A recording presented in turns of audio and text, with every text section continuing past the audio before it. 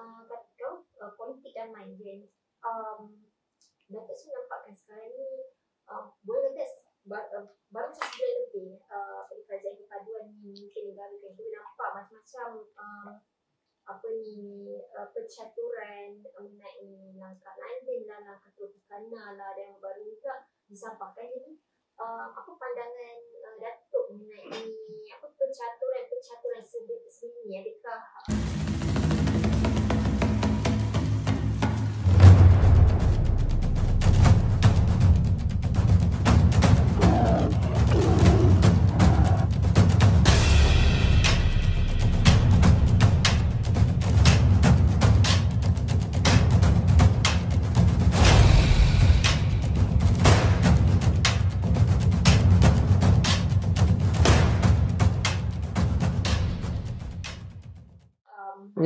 pertama rakyat mahukan satu politik yang stabil.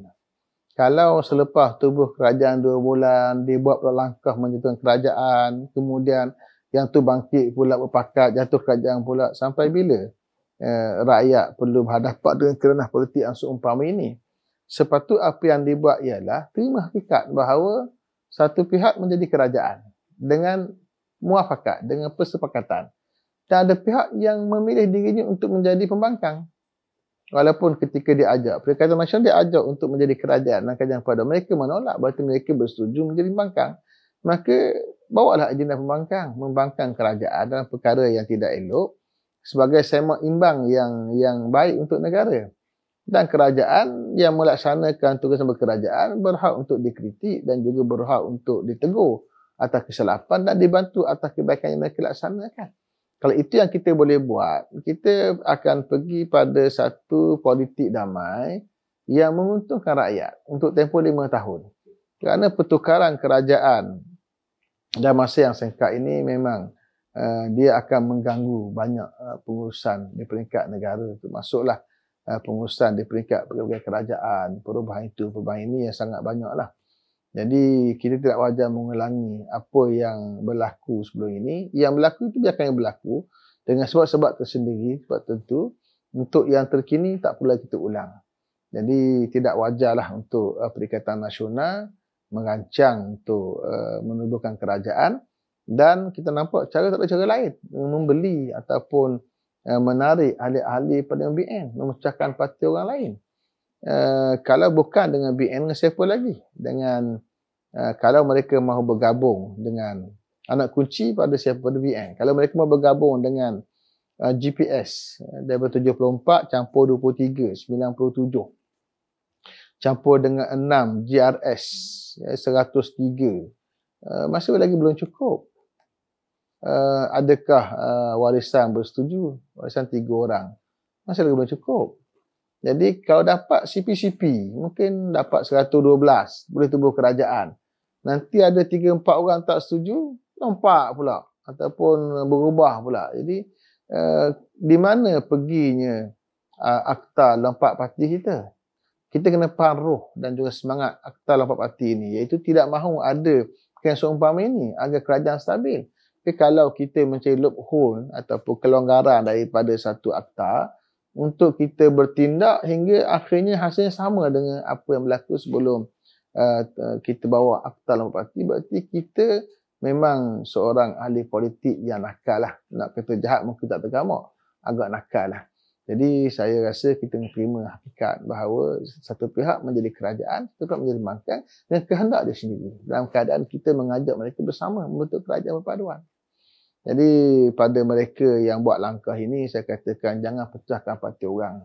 Pecah perintah. Dan pada orang yang diajak dan diseru perlu balik pada kaedah uh, dalam Islam bahawa wala tanaza'u fatafshalu wa tadhhabu hukum. Jangan kamu bertelingkah lalu kamu akan gagal dan hilanglah kekuatan kamu. Mengenai politik mungkin boleh uh, uh, Datuk Sri uh, uh, ceritakanlah uh, masa depan uh, kerja politik Datuk Sri sendiri kan seperti yeah. macam keluar tak serta mana politik, uh, parti politik ke okay. akan buat comeback uh, pertama saya kena betulkan saya uh, Datuk saja belum Datuk Sri lagi tapi itu doa lah barangkali ya. baik uh, Yang kedua tentang hala tuju saya. Saya bersama dengan UMNO sekarang. Dan saya memang telah menjadi ahli UMNO. Uh, dan saya akan terus perjuangkan apa yang dihasratkan oleh pelbagai UMNO. Pindaan pelbagai UMNO pada tahun 2019 itu selepas mana berlaku muafakat dengan PAS mengusi muafakat nasional iaitu uh, dibuat suatu pindaan yang sangat besar kesannya pada hala tuju UMNO sendiri iaitu meletakkan cita-cita agama Islam sebagai uh, cita-cita yang, yang nombor satu yang pertama. Jadi artinya apa yang dulu PAS hasratkan kalau dulu kita ambil apa yang untuk Guni Ayub sebut kalau uh, UMNO tukar perlembagaan uh, kita akan bubarkan PAS. Saya tidak berhasrat untuk Uh, mengajak membebarkan PAS tetapi nak ambil intipati daripada ucapan Datuk uh, Tuan Guru uh, Datuk Nik Aziz Nikmat bahawa kita mahukan perubahan dalam perlembagaan AMNO dan AMNO ternyata telah meminda perlembagaannya dan meletakkan Islam sebagai cita-cita perjuangan. Itu jelas dalam perlembagaan AMNO kalau kita baca. Jadi dengan perubahan itu bagi saya dia selari dengan apa yang saya perjuangkan. Yang saya perjuangkan ialah Islam dan politik Islam dan UMNO telah bergerak ke situ dan muafakat nasional yang kita bentuk dalam tempoh uh, dua tahun lebih atau tiga tahun bagi saya sangat besar artinya dalam menggerakkan kedua-dua parti untuk satu uh, cita-cita politik yang besar itu uh, politik Islam. Jadi saya sekarang bersama dengan UMNO dan juga Barisan Nasional. Uh, betul. Uh, macam sebelum ni kan, macam sebelum lagi, uh, Datuk ada sama perjuangkan uh, kerjasama muafakat nasional kan yeah. uh, antara apa um, UMNO dan PAS supaya bekerjasama dalam PR ni supaya menang besar. Jadi um, apa yang macam sekarang ni uh, selepas PR ni pula um, apa dan secara Musuh sekarang um, mengusahakan muafakat nasional adakah ini muafakat nasional satu muafakat usaha yang uh, Datuk rasa dat, yang Datuk jangkakan? Yeah ada dua angle dalam soalan tadi. Satu, muafakat nasional itu sendiri. Uh, saya tetap memperjuangkan uh, muafakat antara dua parti, PAS dan juga AMNO. Apa alasan saya? Kerana satunya pertembungan yang panjang berlaku antara PAS dan AMNO selama lebih 40 tahun yang memecahkan orang Islam, Melayu Islam di kampung-kampung mungkin tak terasa di bandar yang tidak hidup masyarakat tapi di kampung dia sangat terasa. Jadi ubat kepada penyakit perpecahan Melayu Islam ini ialah muafakat nasional pada ketika itu. Menggabungkan dua parti, PAS dan juga UMNO menyebabkan uh, kaum keluarga yang berpecah kerana politik dapat dicantumkan. Dan ini bukan sesuatu yang teori kerana saya hidup di di, di saat itu, saya hidup di suasana itu. Suasana pertemuan yang tajam antara PAS dan juga UMNO. Dan buktinya ialah selepas mana berakhir, mungkin perkataan berakhir itu boleh ditafsirkan lagi. Uh, bila mana berakhir muafakat nasional, kita lihat pertemuan itu kembali menjadi tajam. Menunjukkan bahawa memang asalnya tajam. Kemudian diredakan dengan sebab ada muafakat nasional.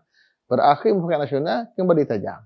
Artinya, kalau hari ini kita nilai uh, tujuan dan matlamat muafakat nasional bukannya untuk menang pilihan raya, tetapi untuk menyatukan umat, maka bagi saya dia gagal. Kerana PAS dan UMNO kekal uh, menjadi musuh yang bertembung. Ya mungkin kita kata PAS telah berjaya untuk uh, menambah sokongan uh, dan menyurutkan atau menyusutkan sokongan pada UMNO tetapi kita bukan mahu menyusutkan satu parti dan menambah satu parti. Tidak. Yang kita mahu ialah menyatukan dua parti untuk mereka duduk uh, setempat sekali hingga satu keluarga tidak pecah lagi. Itu hasrat kita. Jadi bagi saya, uh, dengan hasil sampai adu baru ini, uh, dari sudut matlamat menyatukan umat, kita gagal. Berpecah umat uh, kerana pilihan raya. Bahkan lebih tajam berlaku serang menyerang, kata mengata, sindir menyindir.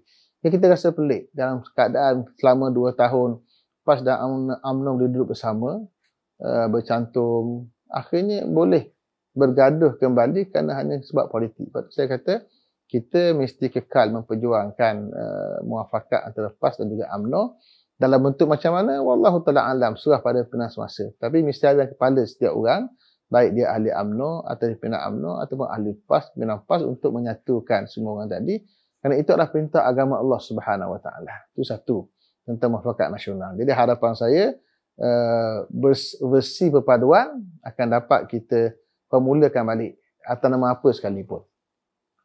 Uh, yang kedua, uh, muafakat nasional uh, tajaan uh, Tan Sri Anwar Musa. Itu adalah satu NGO yang ditubuhkan oleh beliau dengan mengambil nama yang sama yang saya dipahamkan dah daftarkan uh, pada waktu-waktu di mana uh, hasrat PAS dan UMNO untuk mendaftarkan itu tidak tidak berlaku tidak berjaya. Uh, dia bagi saya MN itu tidak mewakili uh, MN yang kita perjuangkan. Kerana MN kita perjuangkan adalah hubungan PAS dan UMNO antara dua parti yang secara rasmi. Tetapi uh, MN yang dibawa oleh Tan Sri itu adalah sebahagian untuk uh, mencantumkan individu-individu uh, mungkin cross party lah daripada PAS daripada UMNO. Uh, itu adalah sebahagian tugasan yang mungkin uh, masing-masing boleh menilai kelebihan dan keburukan. Tetapi saya menyatakan bahawa muafakat nasional kita inginkan ialah muafakat dua parti secara rasmi antara pimpinan parti sebab muafakat dua parti secara rasmi melibatkan pimpinan parti dia akan membawa kepada perpaduan di kalangan ahli-ahli parti. Itu yang kita mahu. Kalau MN tajaan baru ini menjadi sebab untuk parti berpecah, maka itu tidak akan mencapai matlamat. Jadi ini perkara yang kita kena bezakan antara muafakat nasional yang kita perjuangkan sebagai versi uh, muafakat perjanjian PAS dan UMNO dengan versi yang uh, dibawa oleh uh, Tan Sri Anwar. Bagi saya, uh, Tan Sri yang berhak untuk meneruskan apa yang diperjuangkan tetapi uh, perlu diberi faham oleh rakyat beza antara MN sebagai satu wadah uh, politik menyatukan umat dengan MN yang merupakan sebuah NGO yang cuba untuk menyatukan orang-orang Islam.